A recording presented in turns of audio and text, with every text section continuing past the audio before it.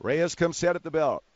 And the payoff pitch. Swung on and a slow ground ball to short that'll score a run. Escobar up and throwing to first in time to get Napoli. But Michael Young is home, and the Rangers lead it 2 to nothing.